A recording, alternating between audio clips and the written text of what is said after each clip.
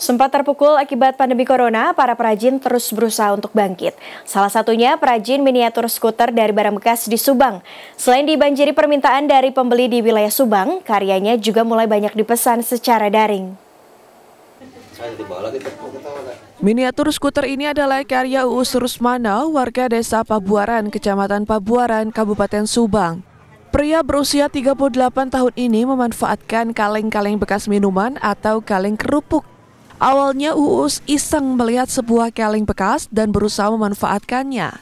Kaleng-kaleng bekas ia susun sedemikian rupa menjadi rangka dan badan skuter. Uus mengaku datangnya pandemi corona membuat usahanya lesu. Namun saat ini permintaan untuk miniatur skuter kembali meningkat. Selain pembeli datang langsung dari wilayah Subang dan sekitarnya, Uus juga menawarkan melalui media sosial.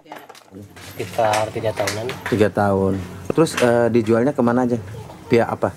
Via online. Via online. Uh, sebulan bisa menghasilkan berapa ini? Ya tergantung sih ini cuma sambil selingan aja kan hmm. kita lagi kerja gitu. Hmm, hmm. Karyawan. Cari tambahan ya, di era pandemi seperti ini. Iya. Ini lumayan ya, kreat, sangat kreatif gitu kan.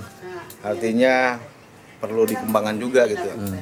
Maksudnya pemerintah setempat gitu kan layaklah untuk diajukan untuk program UMKM gitu. Artinya bisa untuk permodalan. Satu miniatur skuter dibanderol antara Rp150.000 hingga Rp200.000 tergantung tingkat kesulitan dan ukuran. Untuk satu miniatur diperlukan proses pembuatan minimal dua hari. Dian Firmansyah, Kabupaten Subang.